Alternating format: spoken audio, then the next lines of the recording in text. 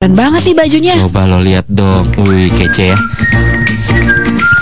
Ah ini sih pasti mahal. Ya iyalah, udah jelas. Kan ada harga, ada rupa. Lo tahu nggak ini bajunya siapa, Mi? Baju siapa? Bajunya Lady Di. Oh yang bener. Iya, Bukan baju kadek. bajunya Kade kan gedenya bukan di bagian pinggul. Oh di bagian? Adalah Mas Raul doang yang tahu. nah, gaun malam warna biru tua ini nih adalah punyanya Putri Diana. Tadi kan gue udah bilang ya. Dan ini lagi di auction atau dilelang. Coba tebak kira-kira ya kalau lihat bentukannya harganya berapa? Berapa ya? 2 juta, 2 juta. 2 juta. Tampol ya gue. 2 juta dolar gitu. Ih, enggak juga dong, nggak mungkin.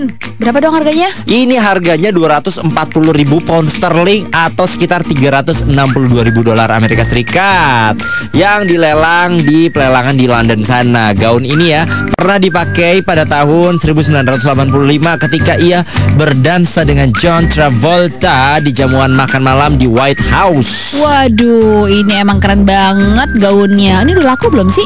Udah, udah laku kan tadi gue bilang udah terjual Oh, harganya. terjual. Udah dong. Jadi yang membeli itu ya nggak hadir ke tempat pelelangan, cukup Oh, telepon. by phone gitu, by doang. phone, Oh, hebat gitu. sekali dia. Dan yang paling kece tau nggak?